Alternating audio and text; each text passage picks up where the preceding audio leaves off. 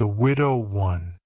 Of course the Widow Stimson never tried to win Deacon Hawkins, nor any other man for that matter.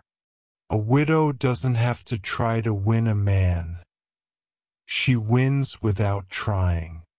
Still, the widow Stimson sometimes wondered why the deacon was so blind as not to see how her fine farm adjoining his equally fine place on the outskirts of the town, might not be brought under one management with mutual benefit to both parties at interest. Which one that management might become was a matter of future detail. The widow knew how to run a farm successfully, and a large farm is not much more difficult to run than one of half the size. She had also had one husband and knew something more than running a farm successfully, of all of which the deacon was perfectly well aware, and still he had not been moved by the merging spirit of the age to propose consolidation. This interesting situation was up for discussion at the Wednesday afternoon meeting of the Sisters Sewing Society.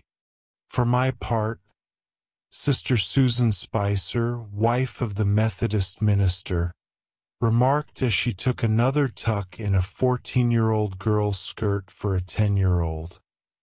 For my part, I can't see why Deacon Hawkins and Kate Stimson don't see the error of their ways and depart from them.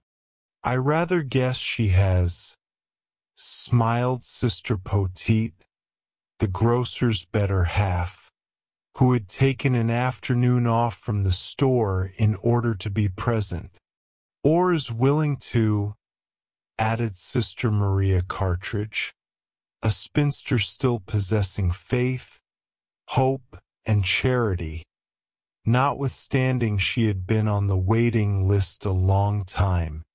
Really now? exclaimed little Sister Green, the doctor's wife. Do you think it is the deacon who needs urging? It looks that way to me.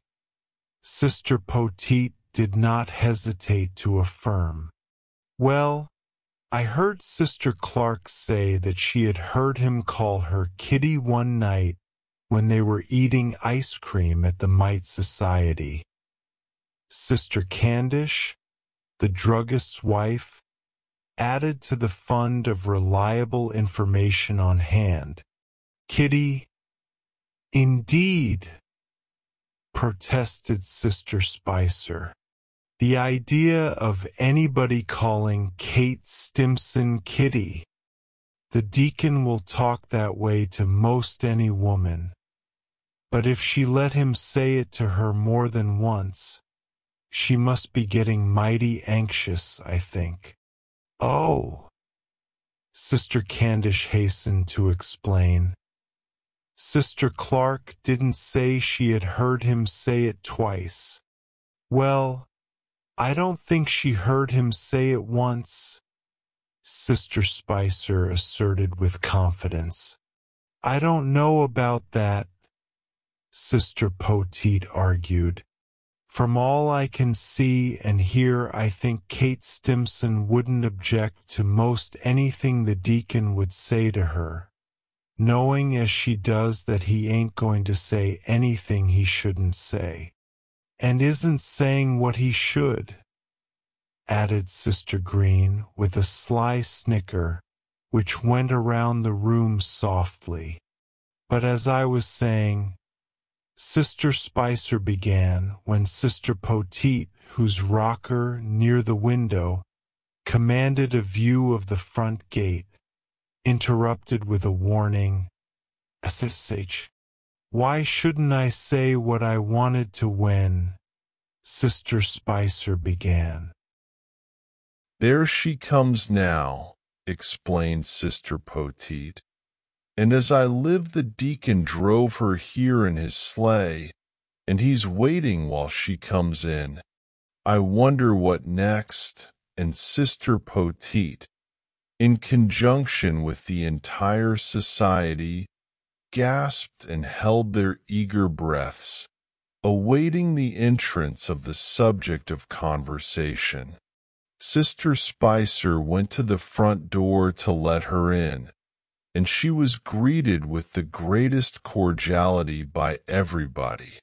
We were just talking about you and wondering why you were so late coming, cried Sister Poteet. Now take off your things and make up for lost time. There's a pair of pants over there to be cut down to fit that poor little Snithers boy. The excitement and curiosity of the society were almost more than could be borne, but never a sister let on that she knew the deacon was at the gate waiting. Indeed, as far as the widow could discover, there was not the slightest indication that anybody had ever heard there was such a person as the deacon in existence. Oh, she chirruped, in the liveliest of humors. You will have to excuse me for today. Deacon Hawkins overtook me on the way here, and here said I had simply got to go sleigh riding with him. He's waiting out at the gate now. Is that so? exclaimed the society unanimously, and rushed to the window to see if it were really true. Well, did you ever? commented Sister Poteet. Generally. Hardly ever, laughed the widow good-naturedly. And I don't want to lose the chance. You know Deacon Hawkins isn't asking somebody every day to go sleighing with him. I told him I'd go if he would bring me around here to let you know what had become of me, and so he did. Now, goodbye, and I'll be sure to be present at the next meeting. I have to hurry because he'll get fidgety. The widow ran away like a lively schoolgirl. All the sisters watched her get into the sleigh with the deacon and resumed the previous discussion with greatly increased interest. But little recked the widow, and less recked the deacon. He had bought a new horse, and he wanted the widow's opinion of it, for the widow Stimson was a competent judge of fine horseflesh. If Deacon Hawkins had one insatiable ambition, it was to own a horse which could fling its heels in the face of the best that Squire Hopkins drove. In his early manhood, the deacon was no deacon by a great deal. But as the years gathered in behind him, he put off most of the frivolities of youth and held now only to the one of driving a fast horse. No other man in the county drove anything faster except Squire Hopkins, and him the deacon had not been able to throw the dust over. The deacon would get good ones, but somehow never could he find one that the squire didn't get a better. The squire had also in the early days beaten the deacon in the race for a certain pretty girl he dreamed about.